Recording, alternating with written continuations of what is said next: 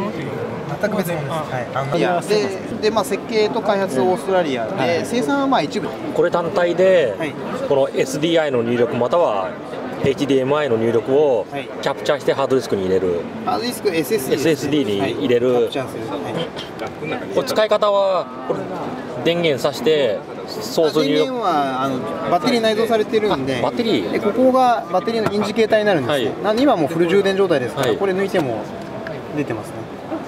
じゃあ入力ソースをさして、はい。それでここの録この録音ボタンを押せばいいんですか？そうですね、録画ボタンを押せば、これがあの SSD が空白の状態ではい。HF プラスというファイルフォーマットにフォーマットされていれば、はい。キャプチャー開始できます。はい。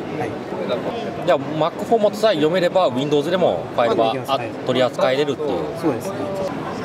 あもう入力もシンプルでこれ USB で何に使うんですか？USB はですね、例えばこちらに機能が付加されたですとか、い。従来あったバグを改善したファームがリリースされた場合に、はい。それをファームをアップデートしてもらう場合に使います。まあ、これバッテリーはどのくらい持つんですか？一応新品の状態で再生で2時間、キャプチャーで1.5時間。再生2時間キャプチャーで1.5それこれ販売代理店とかはあのコンシューマー向けはあるんですか？一応そうですね、ウェブの方にコンシューマー向けのプロショップさんとか、はい、それ乗っかってますので、はい、そちらご参照いただければ。あのー